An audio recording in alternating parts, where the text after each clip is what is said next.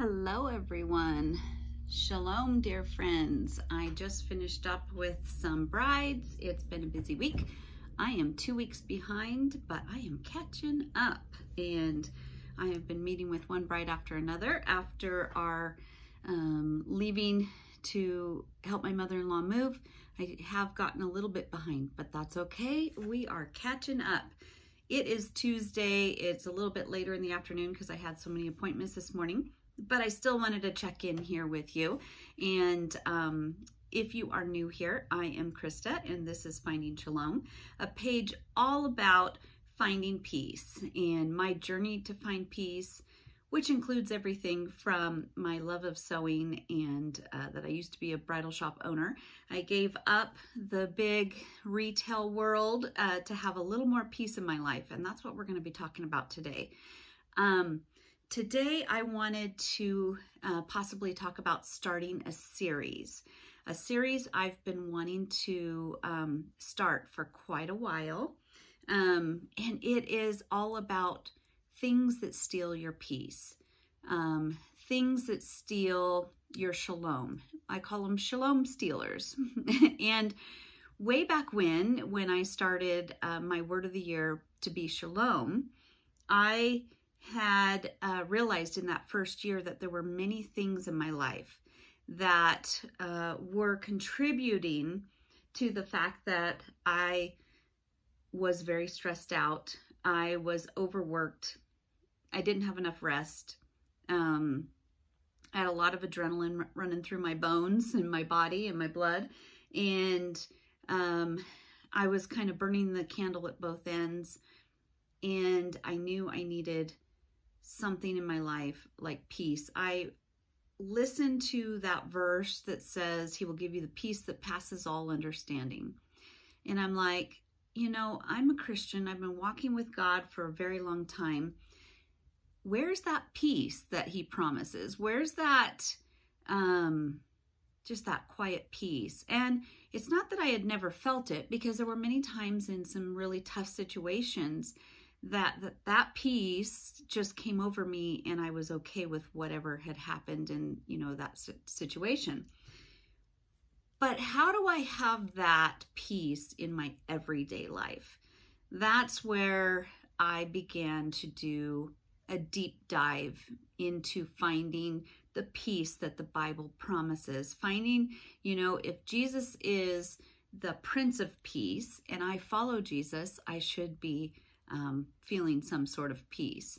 If I um, have been following him since I was a young girl, why why do bad things happen to good people? Basically, um, why do is there always seem to be a struggle right around the corner? Why is there always a crisis?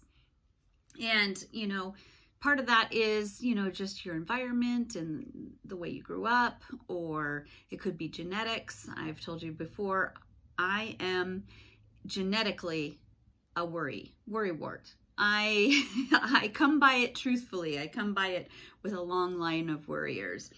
Anyways, so um, I have often thought, and in my journals, written lists of shalom stealers. Those are the things I started to analyze in those first, uh, that first year especially, and I still keep my eye open for it those are the external things that I can control and sometimes things I can't control that um, they steal my shalom. They steal my peace. So I do know now after years of studying that there's a true peace. There is a peace that no matter what circumstances are happening around you, um, and even if you feel anxious and stuff like that, you return to that foundation of peace. And there's a true peace in just knowing your creator, knowing um, that God has an ultimate plan, stuff like that. But I'm not talking about that. I want to do a series on the things that we can change in our life to make a more peaceful atmosphere. And maybe you guys can help me.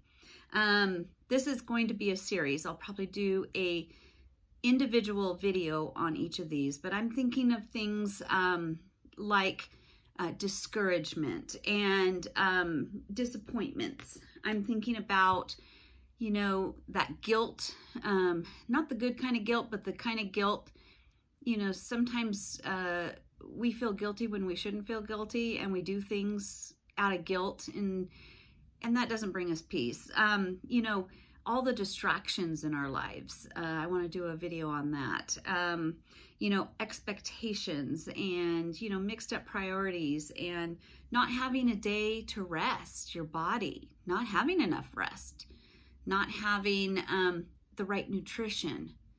Those are the things I want to, that aren't part of that deeper biblical peace, but there probably is biblical advice on each of those uh, subjects because even the book of Proverbs, it's not promises, but it is a way of life. It's, um, it, you know, it, it tells you that most likely if you live like this, then you will get A, B, and C, you know. Um, so I want to explore some of those. So in this video, I'm just kind of introducing that and I want to start exploring each of those different uh, shalom stealers. So what I need from you guys is to look into your life right now and look around and even in your past, what has, um, what has st stolen your peace? What has robbed you of peace? What is robbing you right now of peace? Let's look at that biblically. Let's dive into that. Let's get each other's advice. How do we overcome some of these things? Some things we have control of. Um, having a more uh, clutter-free home would be helpful, and that's something we can control. But, you know, um, some relatives or friends that are really uh, tend to come in and steal your peace, but you have to be around them. That's something that you can't control, but can you control it to a certain level. So I want to explore those things. So today I am, you know, just letting you think about those things. Please, in the comments, tell me what's stealing your peace. Tell me what is robbing you of your shalom, your wholeness, your prosperity, your completeness, your, um, you know, lack of war or lack of, uh, I'm, you know, all of those things. Tell me in there and let's just break that down every Tuesday for the next few weeks. Um, I want to explore some of those subjects.